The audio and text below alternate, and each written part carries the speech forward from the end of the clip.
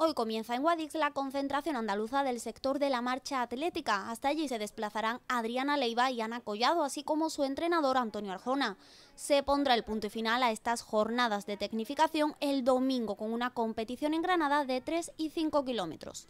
Y sin duda la cita por excelencia del fin de semana será el domingo en Santiponce se celebra la 35 edición del Cross Internacional de Itálica, junto con los mejores atletas de España y del mundo en uno de los mejores cross del circuito mundial de la Federación Internacional de Atletismo estarán atletas algecireños. Mustafa Sabili y Alejandro Roldán recorrerán los 11 kilómetros del cross élite.